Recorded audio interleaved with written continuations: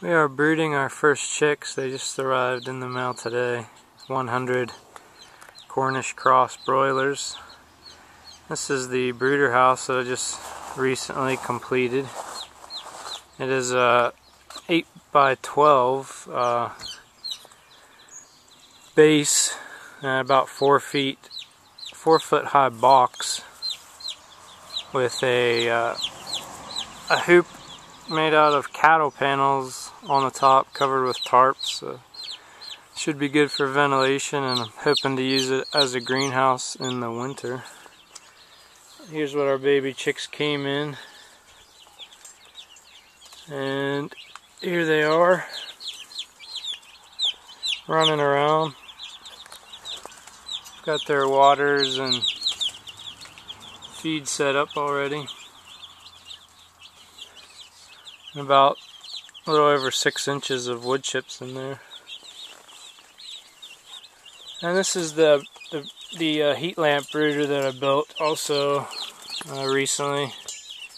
See if I can get show you what it looks like inside, but it's got about four inches of uh, shavings on top that acts as like an insulator to keep the heat inside. And there's two heat bulbs on either side mounted up there. You can see that chick will move. You can see one bulb on that side and one bulb on that side and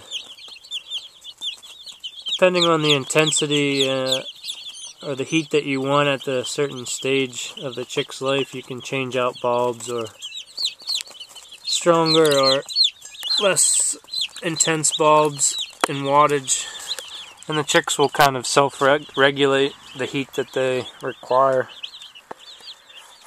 or that they're comfortable with. It's an old uh, design that was actually designed at Ohio State, I think, in the 40s. It works pretty well and it's simple. So we got 100, actually 101, and they're all look like they're doing well. We might lose a few. It's